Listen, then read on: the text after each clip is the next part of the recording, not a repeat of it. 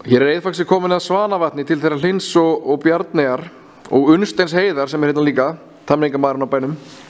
Komið þið sæl og blessuð. Sælir. Sæl. En við byrjum aðeins á því að, að fræðast um Svanavatn í Austurlandegi með það ekki. Jú, Þið hafið komið ykkur fyrir hér. Uh, hvað er langt síðan að það gerðist? Ef við byrjum á því. hvað við, við keiftum hérna og tókum við, held ég, það var alveg í lok nóvumber sem við fengum aðhend. Og síðan þá erum við bara búin að vera að taka til hendinni, standsetja hestús og við fluttum hingað með allt okkar bara fyrir páska. Já, já. Bara núna fyrir páskana 2019. Já, Já. bara, bara fyrir þá. Og hérna, hvað eru þið að kaupa hér? Þið voruð að kaupa jörð og útihús sem að þarf að gera töluvert eða ekki, eða hvað? Jú, töluvert sko. Náttúrulega var ekki neitt hesthús hér eða neitt svoleiðis, þannig að verður að breyta húsunum fyrir það sérstaklega. Og kannski fyrst og fremst það og svo svona bara dytta að svo öðru. Svona almennt viðall, þetta er svona svolítið breyting frá því að fara frá því að vera bara að temja yfir því að vera Já. með reksturinn á svona freka miklu landi og, og stórum húsum og svona þetta er Já, já. aðeins auka vinna. Já, já, það þarf að sinna búinu líka. Já, þetta er svona, maður er svona hálfgerðu bóndi eiginlega. Það var nákvæmlega við ykkur, er það ekki að vera bændur. Jú, Jú, mjög. E, og þið eru búin að meira segja ekki nóg með það að breyta ykkur í það að vera bara tanningum en þá eru líka orðin foreldrar og það lítur að taka líka tíma. Já, það gerir það. Þetta er, þetta er bara voða fínt. Já. Yfir enga kvarta. Nei, hann setti svo mikla pressu á að það yrði alltaf að vera svona nokkuð klárt hérna í apríl. Já. Þá yrðum að flytja áður en hann fættist. Svo það var bara jákvæmt. Já, já. Það er gott.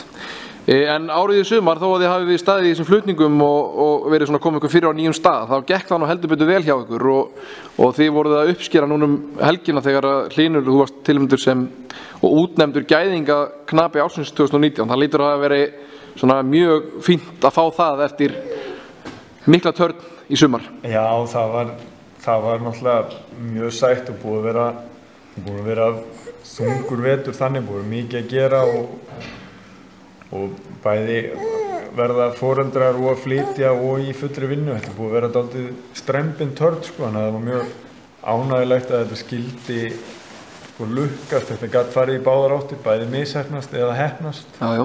Þannig að það var alveg frábært sko að það skildi hefnast en það alltaf búin að vera heppin síðasta ár með, með hestakost sem við erum með. Við erum búin að vera með þarna þessi helstur hoss eins og öskju, efstugrund og, og trommu frá höfn í tölvöld langan tíma og eins Magna frá hólum, hann er náttúrulega, þú veist kannski minna við talað um það sem hann gerði því að missefnaði eftir fjórnarsmjóndunum, hann var búinn að standa sig mjög vel sko og gert það gott í tölti líka núna. Já, fleiri hending, eigarhólum er búin að vera með hana núna í tvo vetur. Þannig að það er svona, það er svona gerði, gæfi muni fyrir okkur að vera með þessi hross og fá að halda svona ámfram með, klára dæmi. Já, já, menn þetta snýst náttúrulega um að vera með hesta í verkefnin. Þú eru að, þú eru að eiga hestana til þess að ná árangri þó að auðvitað knapinn síðan stýri þessu í höfn. Já, já, það er, og meðan þú ert ekki með, já, meðan þú kemst ekki í hestin sem hann getur það, þá kemstu bara ekki lengra. Já, já. Það byggist svolítið mikið á því. Það er takmarkandi. Já, það takmarkar það. En uh, þá að öðru veturinn framöndan, þið eru byrjuð að frumtæmja sjálfsagt eins og, eins og fleiri. Já, við erum búin að vera núna síðan 1. oktober að frumtæmja og verðum það núna út, allavega út nóvember, svo förum við bara í það að þjálfa.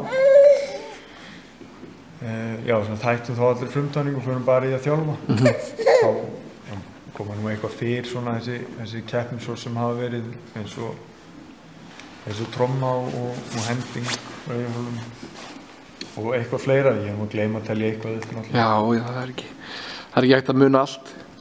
Þið setjið þá stefninu náttúrulega á með þessi hross bara eh, landsmót 2020 og hellu, þið hljótið náttúrulega komin hingað í nágrinni við það hljótið að setja stefnu á það með, með öll þessi hross. Já, við, náttúrulega- já, við gerum það sjálfsögðu og bara spennandi vetur framöndan með því hvað, hvað gekk vel síðasta tímabila. Það er svona, já, það er mjög spennandi fyrir mm landsmótsára að vera með þetta breiðan flota af hestum sem er að fara að koma í, í gæðingakermina og, og verða þá vonandi bara komast langt landsmóti. Og nú er til dæmis uh, væntanlega hérna inn í hús, er það ekki Askja Sigurvegar í fjárvætraflöki Hrissa á síðasta landsmóti? Já, hún er endar ekki komin hérna inn Nei, en hún kemur kemur hér inn, já. og er sett stefna með hana í Kimbotodóm eða keppni eða hvað er þið búin að, búin að leggja það eitthvað upp? Já, planið hefur verið að drífa okkur, eða semst að halda áfram og klára Kimbóta ferilinn á henni núna Já, og svo, já, líklegt að fara í dóm og svo fara hún bara í ræktum eftir það. já. Svona, búin að koma sér vel á framfæri. Glæsir hissalgjur. Ég heyra að Unnsteinn er orðin, hann, hann verður sennilega ekki, ekki sjónvastjarna eða maður veit samt aldrei, Þannig að ekki strax. ekki strax. Heyrði, ég þakka fyrir spjallið og ósku ykkur til hamingi með frábæran árangur í ár og, og hérna hlakka til að fylgjast með kem eitthvað til mann því ég verð sjálfur honum betur græjaður og síni fólki hérna aðstöðuna hjá okkur og gangi ykkur vel með uppbygginguna á Svanavatni. Takk fyrir mig. Takk Takk sem leiðist sömuleiðis. kjærlega.